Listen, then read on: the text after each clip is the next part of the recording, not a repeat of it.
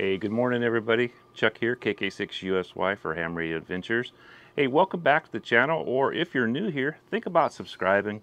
You can always uh, unsubscribe if you don't find things you like here, but uh, I think if you're into ham radio, I have a lot of different videos on different types of ham radio builds, POTA, like Parks on the Air, SOTAs, Summits on the Air, and various other things, all kinds of builds. All right, today I want to talk about an antenna that I built a while back. It's called a halo antenna. Sometimes it's called a squalo or squalo. I'm not exactly sure, and that usually that means that they're square instead of round. Just so you know, I'll give you the dimensions probably twice in this video. Uh, one one time will be I'll, I'll actually do an overhead and I'll measure everything out for you. And then another one, I may put the dimensions down in the uh, description. That's down below now let me repeat that because some people don't always catch this and maybe they skip through this part. It'll be in the description and I also will do something in the video with a tape measure or whatever from my overhead. So here's the antenna I built and I don't know how, how well you're going to be able to see it here. I'll try to uh, I'll, I'll, try to uh, get a closer look, look, of it and I will get a closer look later at, at least. And this one is for two meter. And basically, it's a horizontally, it's a horizontal, it's not a vertical, it's a horizontal antenna. For two meter repeaters and stuff like that, probably not the best antenna for you. This is more for uh, like sideband or something like that. So let, us kind of go through what a halo is. Okay, a halo basically is a, a half square uh, dipole. It's usually in a circle, but sometimes it's square, like I said earlier. And uh, they're, they are good, they're horizontally, so not vertically, but horizontal uh, type antenna. And um, so anything that would work uh, like your regular HF stuff, it'll be good for that, like sideband and stuff like that, CW. And also, being horizontal, they're om omnidirectional antenna. They're not a, they're not like a beam or anything like that. And the, the really cool thing about these antennas, you can, they're relatively small. A lot of people will use them for mobiles in the two meter, six meter sizes. And uh, because they're, they take the wind pretty well. Now, they're not going to do good if you hit something with like a tree branch or something like that, because they're not um, springy like a vertical whip would be. But they, but they do hold up pretty good. And I know I've got a good buddy that uh, he's totally into six meter uh, sideband, and he mounted one on his pickup, and the, the six meters pretty good size. There, uh, someplace on the internet, there's a um, an article on how to make one out of an old lawn chair. You know, the old type with the straps that go across them. Uh, I had one. Somehow it disappeared from my house. Somebody needed it worse than I did. So who knows? Now a halo is different than a loop antenna like a magnetic loop. It's, uh, it's a totally different antenna. This one, the SWR, is pretty good through the whole two meter band, if I remember right. Mine has a gamma match. So right here, and, uh, and I don't know everything about these. I, they're, they're an intriguing type of antenna. Uh, my buddy suggested for listening for openings on six meter here in uh, California, which we don't get a ton of openings like he does, but being omnidirectional, you'll get like versus my beam, my beam may be pointed, you know, due east, but I may be picking up stuff off the sides, you know, it rejects from the sides and the back. So an omnidirectional, even though it doesn't have the gain of a, uh, of, a of like a five or six element Yagi, it does hear in all directions. So that does help. There's the modern uh, Halo and the uh, and the original type Halos. The one I have is basically original. It's got one loop around and the modern ones have like two radiating elements around a lot of times now. Um, and I'll, I'll, list some places where you guys can either make, well, of builds or also where you can buy them. M Squared has one, I know. They, they're a really reputable uh, antenna company out here in California. They're down near Fresno. And like any antenna, a Halo's a compromise antenna also. Like Just like any antenna there is out there, every one of them has some type of a compromise or an advantage over other antennas. Now, when fed with a gamma match, it's uh, usually a DC. It's a, it's basically a DC antenna, so it, it will have reduced static buildup on the antenna itself, and that helps for noise. They also will pick up less ignition noise from your car also. So that makes them another reason they're fairly good for a mobile. And, and, but they're going to stick out compared to just a straight whip. So it's not going to be as unnoticeable as a whip. I mean, I've got a uh, two meter antenna on my truck. It's black, and sometimes you can't even see it. But so it's not going to be like that. Maybe if you paint it black, it'll help a little bit too. Now you can stack halos uh, fairly easy since they're small antennas and, and the size, the distance between them sometimes is not very much, and you you about double the gain. It's uh, I think you get more more gain out of a halo than most antennas when you stack them. A well-constructed halo will have a 50 ohm match at your uh, antenna lead, so your your radio is going to like that. Okay, some of the disadvantages is, being horizontal. It won't have any um, vertical type of uh, radiation really, and that's not going to be good for your FM repeaters and stuff like that. Now I'm not now I'm not saying it won't work but you're, you're, you're, if you're going to do FM and do repeaters, you're better off with a vertical because most of that's vertical anyhow, right? This is a pretty easy project. Um, I'm going to, I'll do some overhead or some stuff off the computer and show you uh, different builds that guys have, uh, different guys have built on, and they put them, they put them on the internet. And like some of them use copper. If you don't want to spend the money for copper, there's really no reason why you can't buy conduit, like EMT con lightweight conduit. Um, probably not any heavier, but a lot less expensive. And then you can buy the corner connectors just like you can for copper. And, and they usually just bolt together. I'm actually going to take mine uh, 2 meter out one of these times and set it up on a mast just to listen for 2 meter sideband and uh, see what kind of, see actually how it does. I haven't actually, I've used it here at the house, but I set in, set in a hole here and I don't really get a whole lot of uh, 2 meter sideband here. Now on my on my um, up on my tower there, I've got a two meter um, seven element M squared antenna, and that does pretty good. I bent mine with a little bender. I bought a little bender that bends certain sizes metals, and uh, the hardest part's getting the bends in the right place. So, I mean, it's not too difficult once you once you've done it a few times.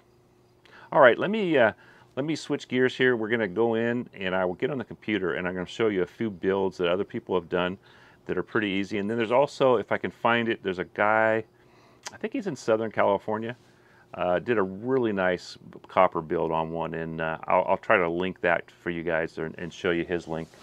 Okay, here's a uh, antenna project uh, by VK1AD, 14.2 uh, millihertz. And I'm just going to show you a couple quick ones here, different designs. These are actually made round. So it's a halo, not a squalo or squalo. And uh, I'll try to link his page down below. Um, all I did was put in halo antennas, and this guy does a bunch of stuff. He's got a pretty good site. I've been here before. So that's one. That's one of the one the uh, antenna designs there. Now this guy here, um, Mike Fedler, N6TWW, this is a pretty nice looking setup. And he's, again, has made his round. And I, I, would suppose he's using some type of, if you read down in here, it's a uh, bendable type, something like you use for hooking up your uh, ice maker. Uh, maybe quarter inch or half inch. I don't know if you, you guys can go in here. And I'll, I'll link this one also. Okay, this is uh, Sal Electronics. Um, my buddy bought his six meter one here for his truck.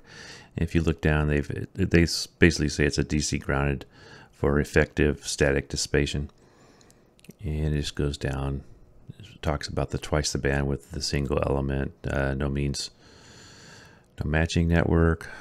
So you can go to the site and read all this stuff here. And it's 144 to 148. They are saying a gain of uh, 2.15 dBi. So a little different, and it says power limit's 1500 watts. And so they're they're not super cheap. This is the two meter version, and $150, and you can do it with a S connector or a N connector. And this here's our typical uh, SWR curve, and what that looks like. Let's go. Uh, we'll look at M squared next. Now the other manufacturer okay, is uh, M squared. M squared makes high quality stuff. Um, there's a little bit different, and I don't think I would. If you look at this design, I don't think I would mount this one. Maybe for two meters, okay, but not definitely not for six meter. I don't think I'd do it on a mobile, but you probably could. Uh, if you look down here, he's got um, all kinds of different parts. It shows you how it's made and everything. Just a just another way, and and just another way to make it. And here's here's examples of stacking. It looks like they're stacking one here with maybe a 70 centimeter in the middle. And this and these are on. Uh, you get four mounts here for uh, magnets. And here's another magnet mount, just a single if you have just the one. So just a quick view. Just check these guys out. Uh, 117.99. And if you go on here, um, there's also. Let me just hit this. And then it goes on here, gives you all the parts, and sometimes it'll give you dimensions. Yeah, there's dimensions there. And this is this is a different style antenna here. They make really high quality stuff. Okay, that's just a few things a few different makers and places to go. I told you I'd measure this out for you. Uh, first of all, I'm going to show you this. This is the uh, the bar that I made some of the parts out of. And if you if you watched my uh, my video on my um, junk box uh, CW key, this is what I made it out of. So this is an inch and a half by half inch so sorry I can't get all this in. My my table's too close to my camera and I'm zoomed out as far as I can, but I'll, I'll move it around so you can see. So basically you have your gap here, okay? And the gap is inch and an eighth, inch and an eighth on the gap. And if you go down the sides here, they should be pretty square, about 11 inches there. Uh, let's measure it back here. 11 inches. So pretty easy. I'm going to measure all the way around it for you, but let me just show you. Okay, so you got 11 by 11. Is this is this for two meter? Now here's the uh, the bracket I built, and there's a piece of that that flat stock that I showed you. This is just another piece of flat aluminum that I had laying around. It's uh, oh shoot, let's see what the hinges are here. So it's two and a half by four inches. And that was just random. That isn't, I mean, you can make it any size you want. And it doesn't have to be that heavy duty. Um, this is plenty heavy duty enough to mount on your car if you did want to mount on your car. So basically what we have is the antenna itself. This is a uh, gamma match that I, I made out of a piece of aluminum. It's got a piece of uh, the inner part, you know, from the um, inner part of some coax cable. Uh, you can look online how to make a gamma match. And then this is the tuning bar. And if you see that um, it has a couple of uh, bolts here to hold it tight. And they're, they're too long, I know that. That's just what I happen to have around. So what I did is I drilled two holes in here to, to match the diameter of this. And I'll check out the diameter for you in a minute. And so I spaced them. And by moving this back and forth, adjust your SWR. All right, and then right in here, if you can see this, I just took and sealed it with some, um, with a hot glue gun. I've got a single U-bolt here. And that U-bolt holds it plenty good. Uh, the the pole goes against here and right against. And I usually set the pole right to the bottom of this bolt, and that keeps it from moving up and down partially by itself. And then this clamp is plenty. Now, let me just see here. I have to put some I put some glasses on so I can read this down small here. So this is let's see. Quarter inch quarter inch bar stock. It's aluminum. I bent this on a bender um, that I'd bought for my uh, when I built my LFA, my six meter LFA um, Yagi. And it just happened to uh, still work for this size material also and that was for half inch so it goes half inch to quarter I think. I just got it off of Amazon. If I can remember I'll try to link that for you too but you can bend this. If you if you hold this tight on one side clamp it down and then just bend it around a piece of pipe now your your dimensions are going to be you want your 11 by 11 that part and, and I'll give you a full length all the way around this thing let me set it back this way Uh, so, sorry, I'm just going to give it to you in inches. This is going to be a rough estimate.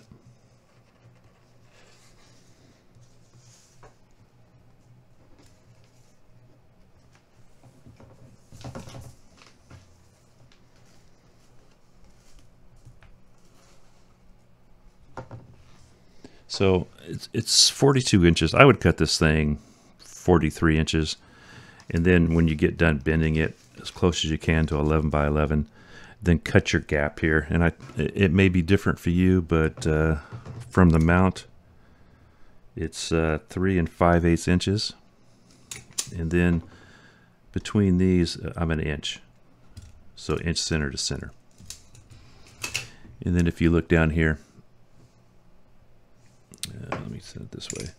This is a bolt, and that just holds this from moving back and forth. That doesn't have anything to do with the tuning, really.